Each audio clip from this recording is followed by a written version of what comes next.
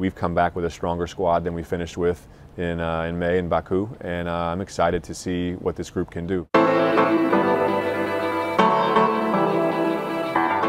Understanding as the second half unfolded of that match, um, and understood, understanding the position that we were in and kind of some of our targets as we headed into the summer from a, from a transfer standpoint, um, we had to rethink some of our strategy because we, didn't, we knew we wouldn't have Champions League football and uh, certain, certain players, you know, to attract those type of talents, um, that's what they're after. I'm not going to share any details, but you know, going into the summer, we knew we were going to have instruments in place that were going to allow us to be aggressive, and they weren't going to be dependent upon sales. You know, these guys went out, they worked their magic, and I'm, I'm happy to have them on our side. Even though we weren't in a position of strength coming out of Baku, um, I think there's a few people that were caught off guard by the that, that Arsenal Football Club still has the aura that it does, and we're excited to keep pushing that now and into the future. Uh, he's thrilled. I think he's, he's only excited. I know that that term has probably been worn out this summer, but we're all very excited. I think that, you know, the hard part is staying patient and understanding that we're putting plans in place that are going to unfold over the next several years.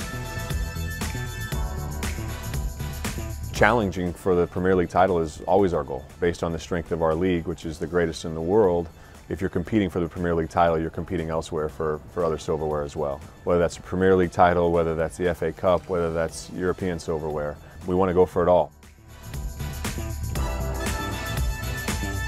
I think he's doing a great job, has done a great job, and is doing a great job. Turning the page from such a legendary manager and figure as Arsene, not only at Arsenal, but in European football.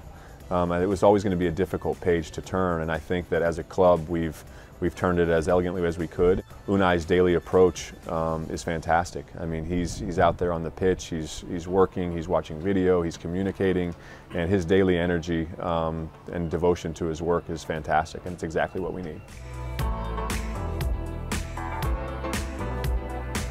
Being here, you know, on match day is it gets me the chills even just thinking about it. But to know that the supporters were united behind our, our group would be a very powerful thing, and I think that this is a group they can really get behind. Trust is earned over time, and I would love for you to trust me now, but unfortunately that trust has to play out over the next several years, and uh, we're just getting started, and hopefully we'll start to earn more and more trust uh, the more and more work we put in.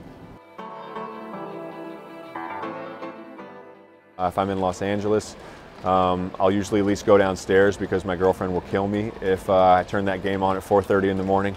Whether it's 4.30 a.m., 6 a.m., 10 a.m., or early afternoon for, for an evening kick here, um, I'm usually pretty, pretty vocal. Um, my dogs get a little scared. Uh, if something goes wrong, I'm, I'm, I'm yell, I, I yell a little bit. When I'm here at the Emirates, I'm a little more reserved. I think that, that that's a good thing to, to show. um, but I mean, the passion comes out in all, on all different ways. Football was my first love, and now to be over here at the highest level um, and to be involved with it is, I have to pinch myself sometimes.